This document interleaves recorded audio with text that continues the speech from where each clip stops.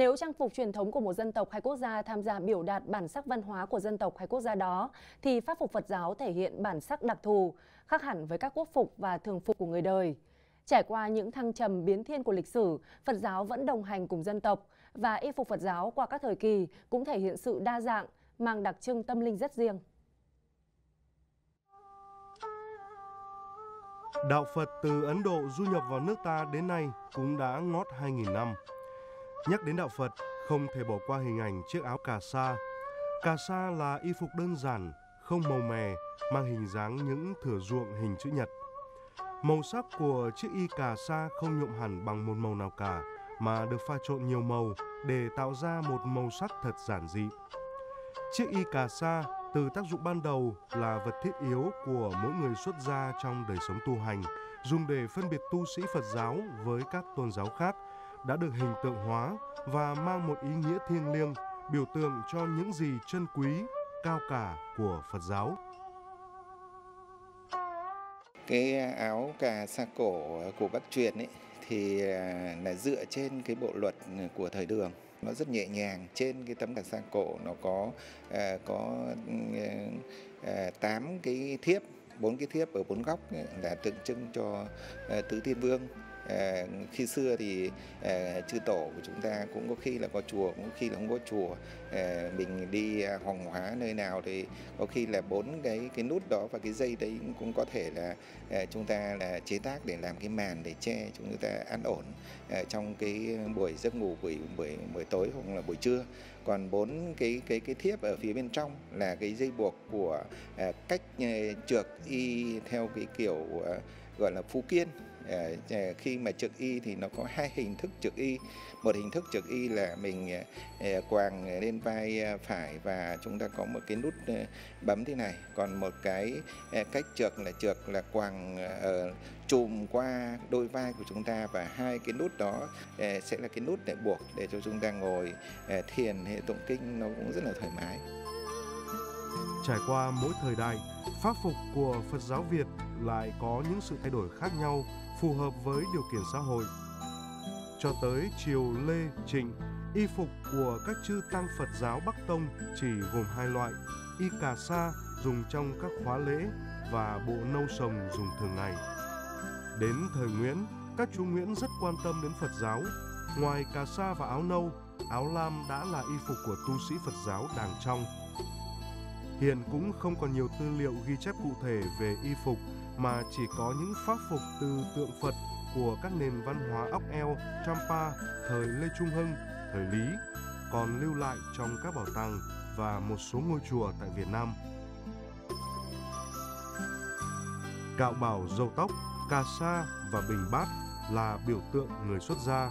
tuy là hình thức nhưng chính nó giúp tu dưỡng tâm tính, chuyển mê khai ngộ. Y phục là để tô điểm cho oai nghi tế hạnh, dù là khoác lên mình lễ phục, pháp phục hay thường phục, người xuất gia vẫn luôn giữ được sắc thái riêng biệt và đặc thù của Phật giáo Việt Nam.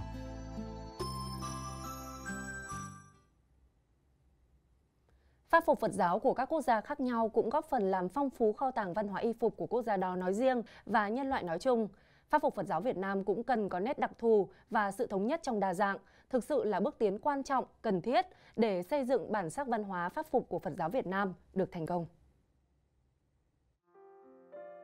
Sự phong phú của y phục Phật giáo ở Việt Nam được nhận thấy rõ nhất ở những khóa lễ và sinh hoạt thường nhật. Nhìn vào y phục của người xuất gia, có thể xác định được các hệ phái sinh hoạt trong Phật giáo Việt Nam.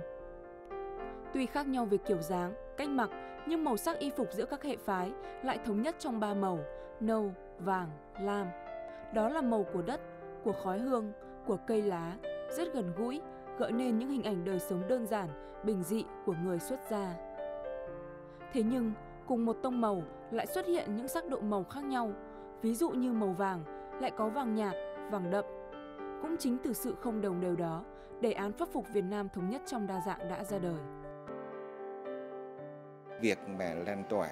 phổ biến cái ờ, sắc phục này thì ờ, nó có ba ý nghĩa như vậy. Thứ nhất là chúng ta gìn giữ được cái bản sắc, cái đặc trưng riêng về mặt pháp phục của Phật giáo Việt Nam, của dân tộc Việt Nam. Cái thứ hai là dễ cho cái công tác quản lý ờ, tăng ni Phật tử của giáo hội.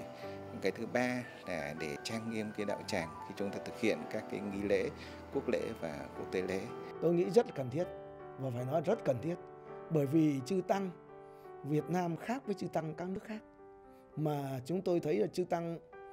ở các nước đều có cái pháp phục riêng, ban văn hóa đang đề xuất cái đề án ấy, thì tôi thấy là cần phải ủng hộ và cũng mau chóng để sớm được hiện thực, để nó có riêng một cái sắc phục thường phục của tăng ni Phật giáo Việt Nam, rồi sắc phục của tăng ni Phật giáo Việt Nam. Còn Pháp cũng vậy, Pháp tức là cà sa cà sa thì cũng phải thống nhất xem xem nương vào bộ luật nào trong các bộ luật của tỳ kheo để mà may à, pháp phục cho nó chuẩn trong hội nghị tăng sự toàn quốc năm 2020 vừa qua tại chùa Tam Trúc, Hà Nam, chư tôn giáo phẩm lãnh đạo Trung ương Giáo hội, Ban tăng sự Trung ương, đại biểu Ban tăng sự Giáo hội Phật giáo Việt Nam 63 tỉnh thành đã cùng mặc bộ pháp phục mới, nổi bật trên nền màu vàng trang nghiêm. Đây chính là lời khẳng định hướng đi đúng đắn của nỗ lực đi tìm về bản sắc, tìm về sự thống nhất trong đa dạng của Phật giáo Việt Nam. Ban văn hóa Phật giáo Trung ương đã đưa ra được cái đề xuất mà Hiệp hội Diệt may Việt Nam đã làm được, đã giúp được cho Ban Văn hóa và Giáo Trung ương, cho các thầy, cho các cái bộ pháp phục ấy. Đó là các cái chất liệu vải nó phù hợp với cái từng vùng miền một. Các thầy đề, đề nghị rằng là bây giờ nó phải mềm, nó phải mềm, nhưng nó không nó không rũ, cái vải nó không rũ ra, nó mềm, có thể mặc nó nhăn, nó, nó nhẹ, nhưng lại không được nhăn. Đấy là cái khó. Thế là cái khó phải nói là tôi cho rằng là lần này thì phải nói rằng là bản thân hiệp hội cũng đã có những giải pháp đề nghị các cái nhà máy sản xuất vải thực hiện được cái yêu cầu của ban văn giáo văn hóa và giáo trung ương nhưng cái điều quan trọng nhất là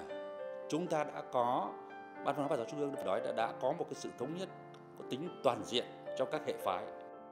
từng chi tiết trên pháp phục đều được nghiên cứu kỹ lưỡng tỉ mỉ một nếp gấp trên cổ áo biểu tượng cho nhất thừa còn số lượng nếp gấp ở phần ngực áo và cổ tay để xác định giáo phẩm, hòa thượng, thượng tọa, đại đức ứng với 3 hay 2 hoặc là một nếp gấp.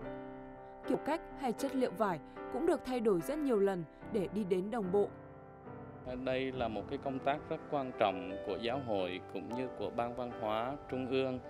vì ở bên ngoài, khi nhìn vào một buổi lễ, người ta sẽ thấy được ờ, sự lục hòa của chư tăng và sự thống nhất ừ, trong tinh thần một giáo hội ờ, dạ, Phật giáo Việt Nam. Tiến một bước nữa mà giáo hội cũng như ban văn hóa của Trung ương giáo hội muốn tiến đến là không những pháp phục của chư tôn đức tăng ni của người tu sĩ của giáo Phật giáo Việt Nam mà tất cả những y phục thuộc vào kể cả của đệ tử tức là yêu bà tắc yêu bà di cũng có được những cái bộ uh, y phục chuẩn mà được uh, trung uh, Trung ương Giáo hội phê chuẩn cho Ban uh, Văn hóa để đưa đến thống nhất. Chặng đường đi tìm sự thống nhất trong đa dạng cho pháp phục Phật giáo Việt Nam tuy gian truân và còn nhiều thách thức phía trước. Thế nhưng, thiêng liêng hơn cả, niềm tự hào, tự tôn dân tộc được phát huy mạnh mẽ nhất chính là thời khắc bộ pháp phục chuẩn y của chư tôn giáo phẩm lãnh đạo Trung ương Giáo hội Phật giáo Việt Nam sánh cùng với văn hóa pháp phục của Phật giáo các quốc gia khác trên thế giới.